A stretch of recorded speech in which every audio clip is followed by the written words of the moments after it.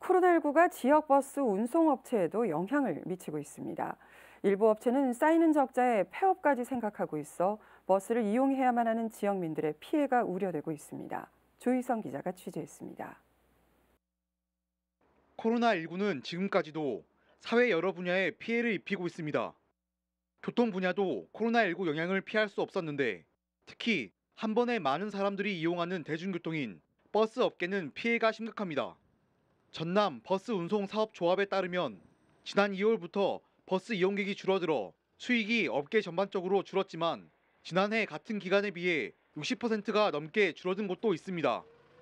이런 곳들은 인건비, 유류비 등 반드시 쓰이는 지출을 감당할 수 없게 돼 회사를 유지하기 힘들다고 합니다.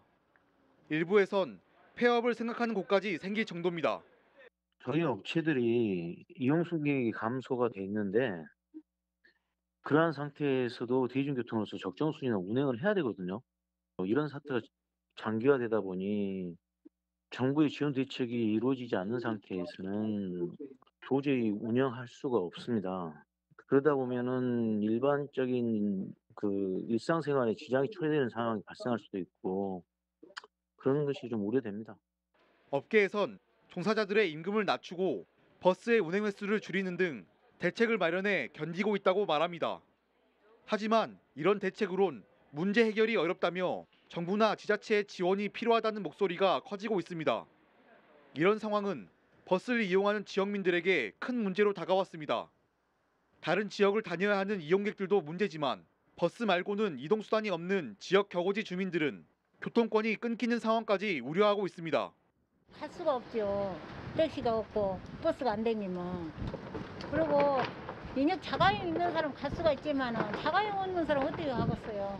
차가 있어서 빨리빨리 댕기면 더 좋은데 이렇게 상황이 생겨나서요. 차가 이제 몇 대 없잖아요. 그러니까 힘들어요. 대책 마련에 어려움을 겪는 것은 업계뿐 아니라 지자체 입장에서도 같았습니다.